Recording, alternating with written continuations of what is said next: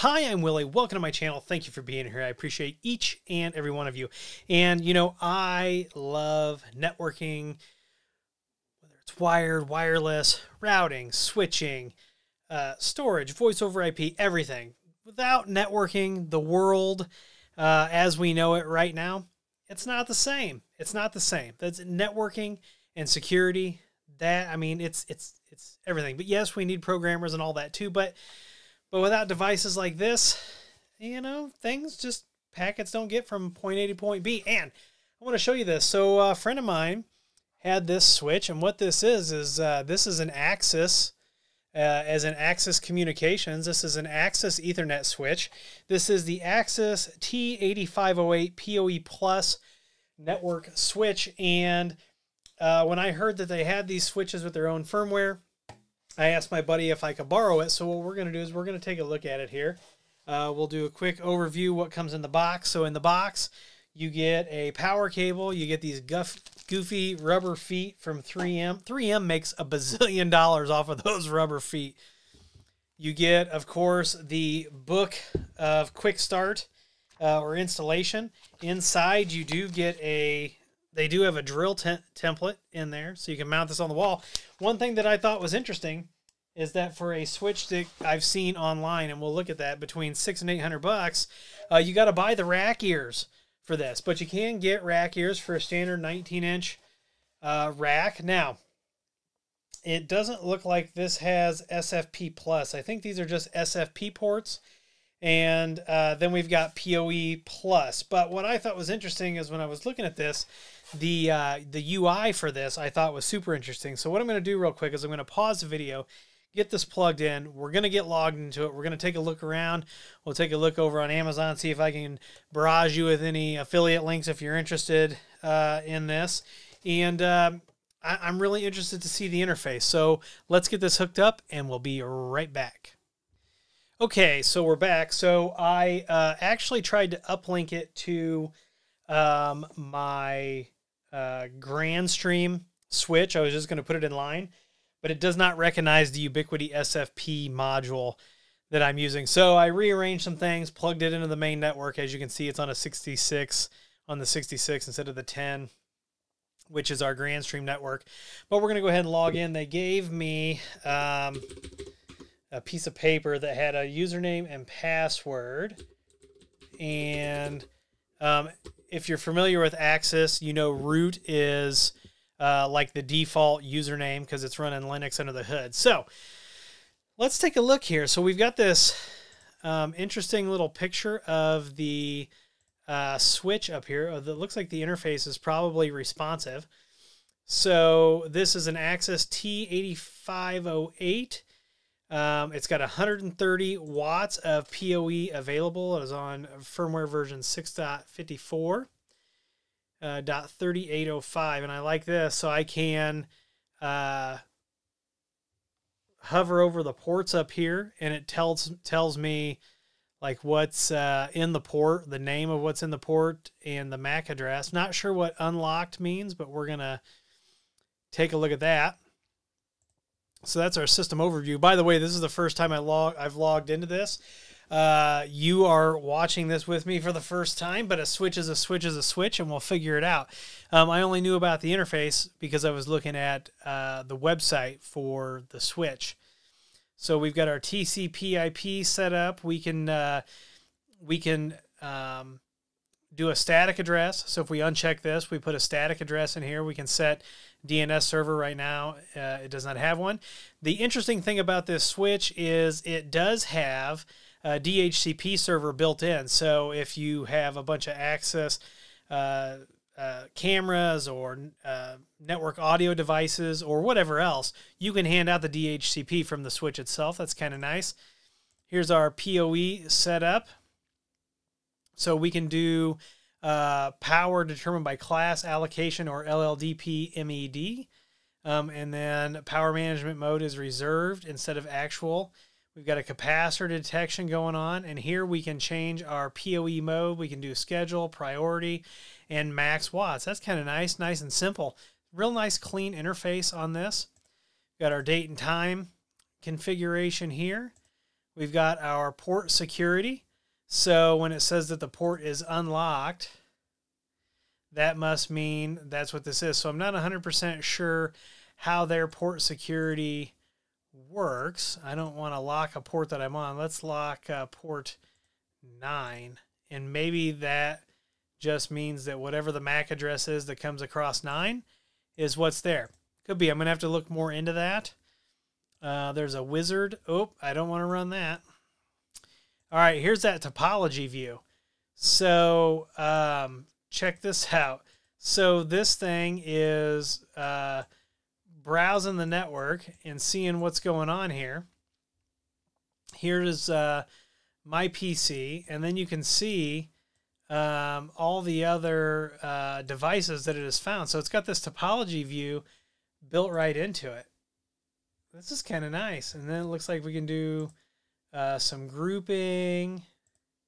So we can group into switches. Uh, let's see, PCs. Oh, that's nice. I like that. And the reason you're seeing this twice is because I have, a, you know, hardwired and I have a wireless connection. Uh, IP cameras, you can see there's none on this segment. It doesn't detect the Grandstream phone that's plugged into the same uh, uplink as it. Doesn't detect the APs. There's others and offline. So that's kind of that's kind of cool. I kind of like that. That is nifty swifty. Uh, config IP range. We can do uh, multiple subnets. So I could go ahead and put in my other VLANs and it could discover what's on my other VLANs. That's that's actually kind of nice. I'm kind of digging that. All right, devices. So this will show us what's uh, apparently, yeah, okay, okay, so this is the devices that it sees on the network. So 36, which we have a heck of a lot more than 36 devices on this network, but uh, that's interesting. All right, under maintenance, we got diagnostics. So you've got log, You've got, oh, wait a minute. Look at this, though. It recognized that I plugged that uh, SFP in, but it wouldn't get a link. I wonder if this is one of those cases where I've got to force the, um, I've got to force the one gig full duplex. Interesting. I'll have to play around with that. I got to take the switch back uh, tomorrow, but we can do a ping. We can do cable diagnostics. Do you think cable diagnostics are actually uh, any good in a switch? Let me know if you've got any that you think are good. We've got a trace route. We've got a server report. Not sure what that is. Oh, we've got some traffic. Oh, traffic monitoring. That's kind of nice. This is as is uh, expansive as that gets. Let's see what we've got under advanced. All right, so under system, we've got configuration, you got information. Okay, so now we can start getting into the weeds, getting into the nitty gritty on this setup. It's got bonjour discovery. Here's our IP setup. So if we've got different VLANs, oh, we can add routes. So I'm wondering how many VLANs we can have on this. I don't know if it says in the in the book. I was just really excited to see that Axis. I'm, I'm I wonder if they're OEMing these. Um, yeah, so the uh, the book that I have here just tells you how to install it. Um, there might be something on their website, but we can add an interface. We can change the VLAN. But let's uh, we can add some VLANs and stuff. Here's our port configuration. So yeah, so you can really get down and dirty and um, you can really get down into the weeds with this. Here's our PoE, green Ethernet, uh, has its place. Before you say anything, here's our security. So we've got users, privilege level. Huh, doesn't that privilege level look uh, familiar? Here's your different uh, privilege levels that you can configure. Here's our authentication methods. So I think it's got HTTPS in there by default. Um, we've got SNMP, Oh yeah, so this thing has a lot of configuration. Here's our network. So now we can do, looks like we've got some limit control. Uh, let's see, if we enable it here, um, port security limit control. Okay, so limit four. So this must be uh, four MAC addresses uh, deep. Okay, and, and we can do sticky. All right, so we uh, we're we're good here. Network access server. Here's our ACLs. Anytime I tell you you need to be careful configuring ASL, it's not because I like hearing myself talk. It's because you could really get locked out of uh, a switch in a bad way. IP source guard. Got our ARP inspection. Got our AAA for our, and here's our Radius server config. Here's our status for port security.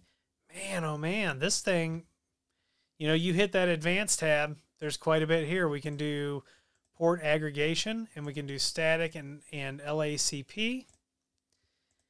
Got our MAC table configuration and our status. That's beautiful. Oh, I like green check marks. Here's our DHCP server. So here's our mode. So you can do it per VLAN. That's kind of nice. You can do excluded IPs, pools. And here's our status. All right, VLANs configuration. Allowed VLANs. So now we can do, okay, we've got access trunk hybrid ports. Pretty sweet. Pretty sweet. So let's see if we do 1 through 50, what happens? So I don't know if we've got 50 VLANs now. I have to click that save button. Oh, did you see how it named the running running hyphen config?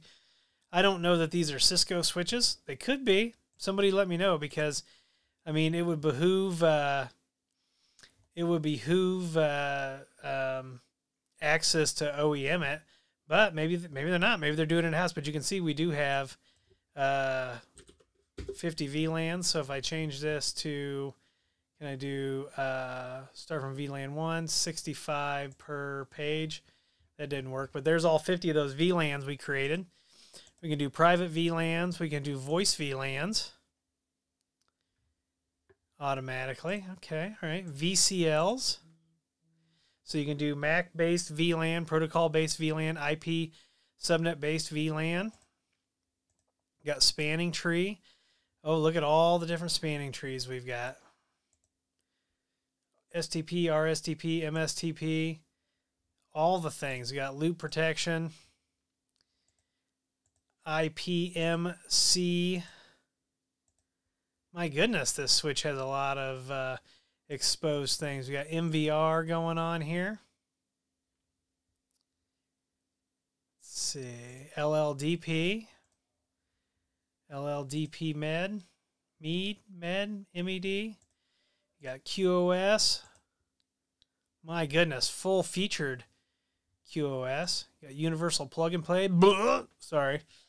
You got uh, SMTP, and you've got then you've got maintenance. So you've got your firmware where you can do a firmware upgrade, and we would have to choose a file to do that. We can uh, back up our configuration, save startup config, download, upload, activate. So apparently you can have different uh, ones in there that we can activate. So let's go back to where were we at a minute ago? System configuration IP. And let's add an interface and let's do VLAN to enable it. And let's do 192.168.2.124. And let's apply this. Okay. And save.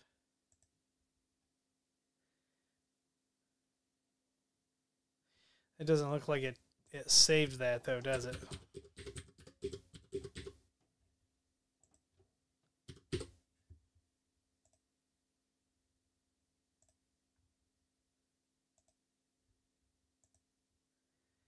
Hmm.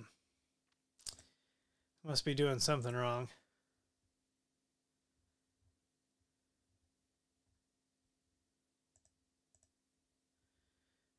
Update. I mean, here's our IP interface, but why isn't it?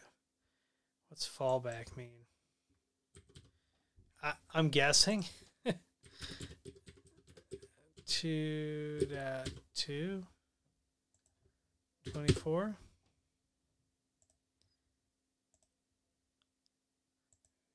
Oh. Uh, apply. So I'm doing something wrong because it keeps wiping that out. So I'd have to figure that out, but I'm confident given more time I can figure it out. But I thought this was a really nice switch.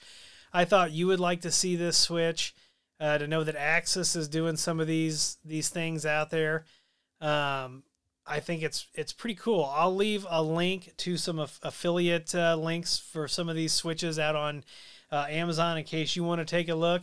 Um, if you've got questions, let me know. I'm only going to have limited time with this switch, so if you've got things you want to know, let me know, and we'll figure it out. Um, and if you like this video, make sure you give it a thumbs up, subscribe, comment, share. Follow me on Twitter and TikTok. Those links are down below, along with affiliate links and a Patreon link if you'd like to support the channel and keep us growing here. And if you need IT consulting, you've got an Axis camera project, a Synology NAS project, you need uh, security scans done, you want to set up a new Grandstream phone system, or reach out at williehowe.com. Head on over there, fill out the contact form, and someone will be in touch with you as soon as possible. If we can't help you, we'll get you to someone who can. That's our promise to you. Once again, I'm Willie.